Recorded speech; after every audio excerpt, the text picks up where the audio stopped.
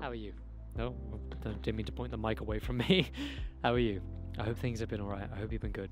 This is sometimes something that's on my mind. It's something I struggled with for a very long time. And I'm not talking a little amount of time, like two, three plus years.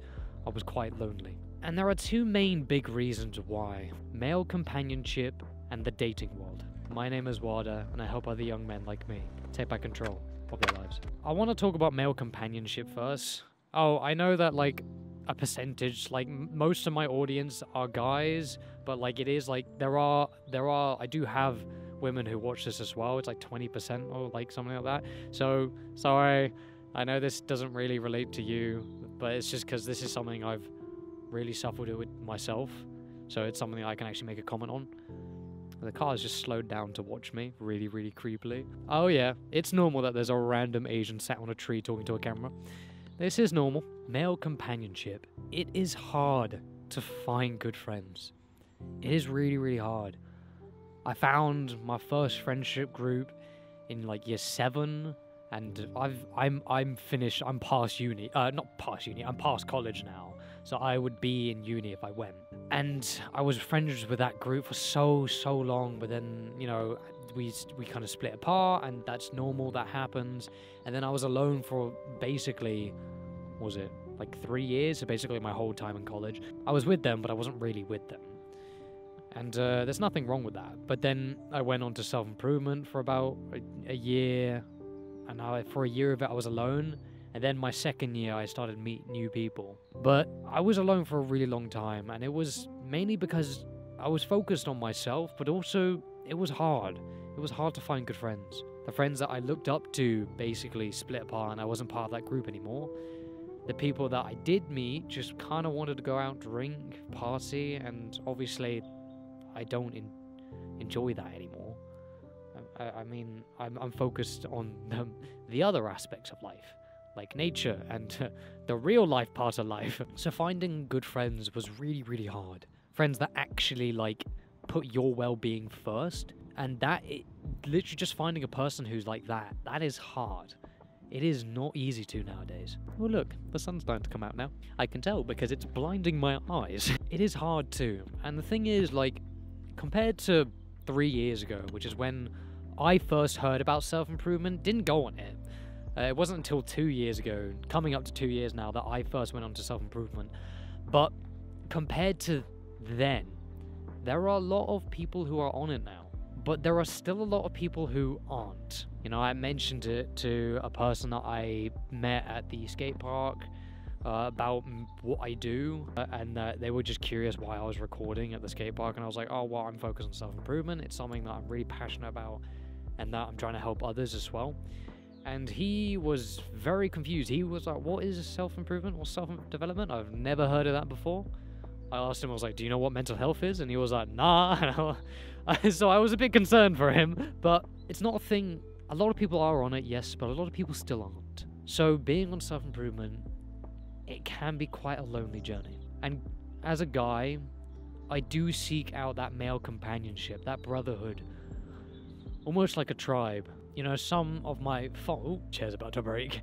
Some of my fondest memories are with my old friendship group in the woods, just building a den. I loved, I genuinely missed like the good old days. Mm. I should do another video back there. It's just a bit of a mess right now, so because uh, obviously no one's been there for a really long time. And I do remember, even though I was really focused on myself, I did really want and seek out for that male companionship. And I want to tell you basically, what's it called? What's the word? I want to ba- basically I want to tell you I want to I want you to envision this, right? Where you're walking down a path now, this path is self improvement. Maybe you're one of the few who actually watch this who is actually on self improvement. So you're one of the few, right? When you're walking down this path, and for a while, it's just you. It's kind of lonely. You're just walking down this path by yourself. After a while, who knows how long, maybe a couple hours, couple days, a couple months, maybe even a year, but you then meet someone else who's walking on this path the same direction as you. You're both walking the same direction on the same path. Now you catch up to them, you see them, and it's your choice. You can either talk to them, make friends, or you can walk past. Either way, at some point on this journey, on this path you're walking, you will meet someone else. Now, it's your choice whether you basically talk to them and, make friends with them or not and walk together with them.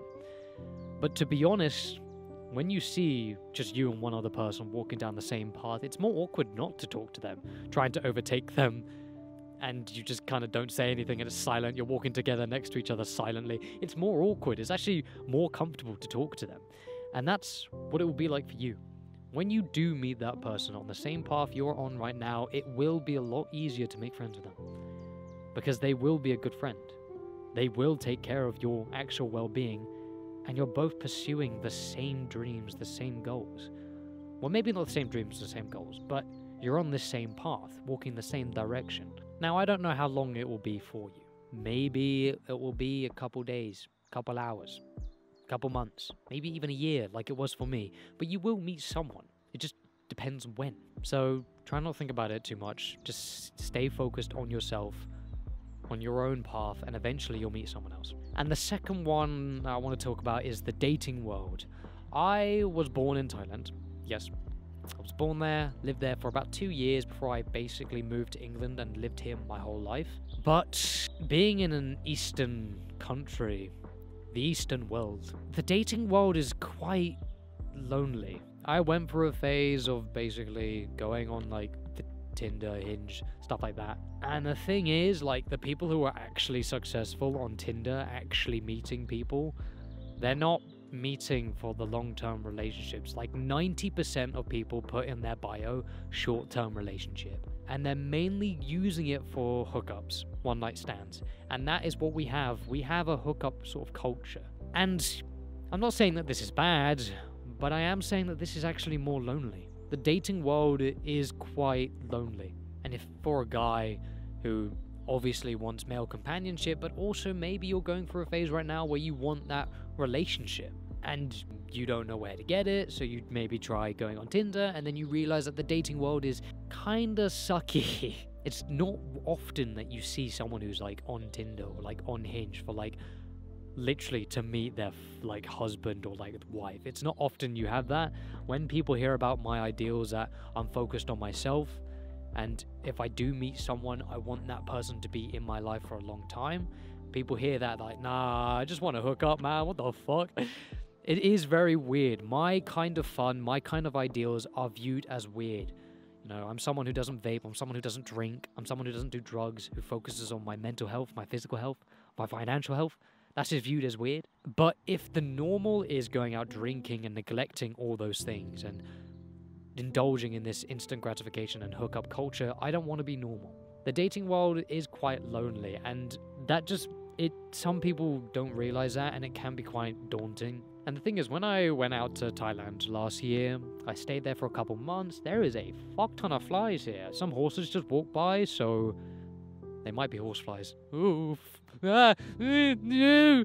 But when I was in Thailand, when I met women, actual women, not Thai lady boys, I know some of you are thinking that. Get your mind out the gutter. What the fuck?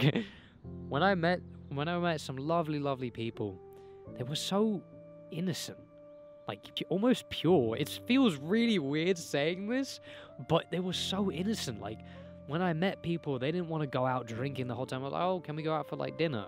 Or like, can we go out to just restaurant or just walk by the beach? And I was like, the fuck? And people were like mean and they were like, oh, this is super, super nice. And they weren't kind of aiming to hook up on the first night. And it was weird being in that sort of culture. But it was really nice and kind of refreshing. I'm not saying that you can't get that in Eastern in the Eastern world. I'm not saying you can't get that in Eastern countries in the UK. Maybe you're in the UK or the United States. You, I'm not saying you can't get that here. Literally, like was it the other day? Like uh, a lovely, lovely lady came into the coffee shop where I work, sat down, wasn't on her phone, was reading. We actually ended up talking. We got on. We got along really, really well, and. Uh, it was super super nice so it, i'm not saying it's not impossible but you know if you're going on like tinder and like hinge where a lot of people on there are there to hook up not everyone but a lot of people are it's harder and it can make you feel a lot more lonely. To be honest the people that i've met that i've actually dated and like for like a longer term not like like short term it's been from people that i met in real life from coffee shops from fucking in a restaurant or like it's just from people that I've actually met in real life and it's not been from Tinder or Hinge. I'm not saying that that's not impossible. It's just that the majority of people, myself included at one point, went on Tinder for hookups and that was pretty much it. I think these are two like big reasons. There are a lot of reasons, man. Um, because it's not just men. A lot of people are lonely. Was it? I think 80% of people are alone, and that's quite a big number. I can't remember when I researched this. I think it was like a couple days ago, so I might be wrong. So don't quote me on that. But I know it is a high number of the of percentage of people feel lonely in the UK. It's quite messed up. And I think these are two big things like male companionship. It's hard to find good friends, and the dating world in Eastern countries in the UK is kind of messed up. I think the best thing that you can do right now is what I said about you being on your own path and you will meet others because that applies to both both scenarios. And it applies to everyone or to anyone who's walking that path if they're on self-improvement. And by the way, this applies to the degenerate average. If you're going down this path of not caring about your mental health, physical health, you're basically drinking a lot, going out partying a lot, you will meet other people like that as well. Whatever path you choose, you will meet other people on that path. I've been trying to make longer videos, so if you did enjoy this, I'm I'm I'm glad. I'm, I hope this has helped you out. And if you did like this video, clicking on the one in the corner would be a massive help because this could definitely help you out as well. And if you want to see more content like this, please subscribe because you, there's a chance you will never find this channel again. Stay consistent and do the best you can. You know what time it is? Yep. Self improvement kiss. Oh, God, my ass has gone numb. Oh, oh, maybe sitting on a tree wasn't a good idea.